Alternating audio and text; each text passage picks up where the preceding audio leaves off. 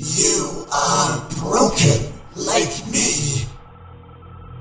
I know how it feels to be ripped apart, kid. They stripped me down until all that was left was pain and sorrow. I am missing pieces of myself. I will take yours. Will not let another brat tear me apart. Unlike me, you will never be put back together. This closet cannot contain me forever.